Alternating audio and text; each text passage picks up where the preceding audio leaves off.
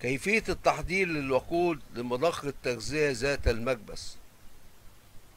المضخة ذات المكبس تحتوي على مضخة تحضير تتكون من يد المكركة.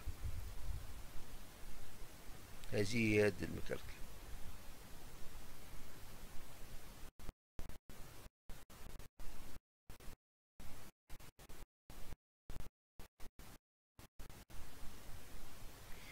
يد المكركة تحتوي تحتوي داخلها ال plunger الذي يتحرك داخل أمويس liner. ويوجد حالتان لتشغيل مضخة تحضير الوقود. الحالة الأولى عندما يتحرك تتحرك المكركة إلى أسفل يتحرك ال plungers إلى أسفل ويغلق صمام دخول الوقود. صمام دخول الوقود يغلق.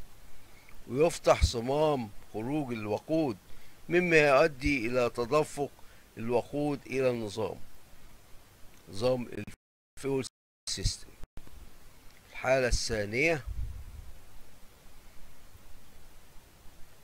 عندما تتحرك المكركة إلى أعلى إلى أعلى يتحرك ال plunger أيضا إلى أعلى.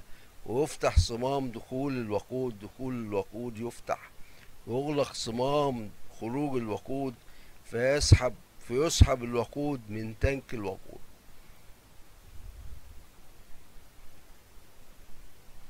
مضخة تحضير الوقود البرايمنج بام لها نفس تأثير التشغيل العادي للمضخة ذات المكبس.